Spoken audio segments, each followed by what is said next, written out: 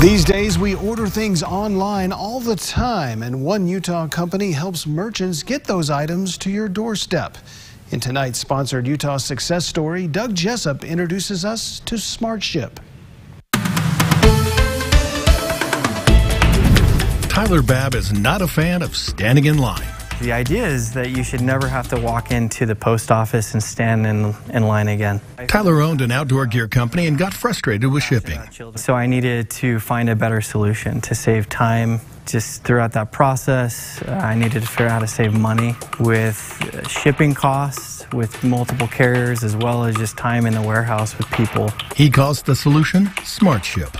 So who is using SmartShyp? We help companies like Pitney Bowes. We power local brands like Piphany, Coco and Main, and even Jane.com. We have small startups that are uh, working out of their garage, basement, or home kitchen. How does SmartShyp work?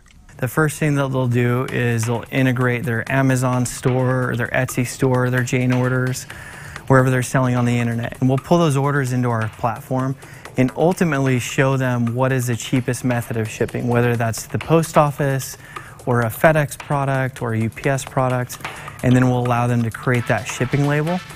And ultimately, what we'll do is we'll take the tracking number and we'll post that tracking number back to the platform of choice, as well as notify the customer that their package is now in transit. And we do that all automated.